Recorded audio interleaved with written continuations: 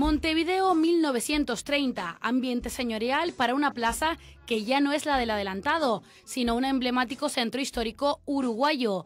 Transformar la laguna en el Uruguay de entonces parece que no está siendo tan difícil como se esperaba, pero aún así no hay que perder ningún detalle. Montevideo fue una vez constituido o formado por canarios.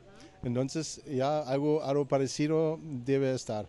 Vale, modificamos un poquito, decoramos, la, por ejemplo, en este caso decoramos la plaza y yo me siento como en Montevideo. Ahí tenemos la Caja Canarias, un bar que vamos a tapar esta noche, pero en principio esto es el sitio adecuado para este tipo de película. Detalle como este, fuera las señales de tráfico durante el rodaje a principios del siglo pasado, evidentemente no existían.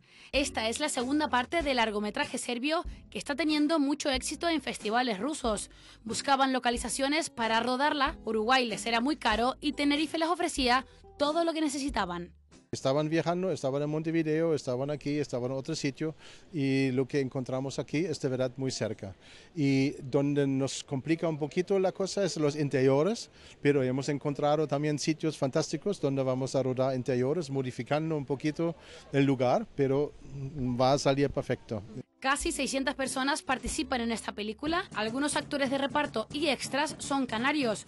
Una buena mezcla que está dando sus resultados. Con la arquitectura lagonera no es necesario demasiado atrecho para contar esta historia de fútbol y de pasión de un país latino de entonces.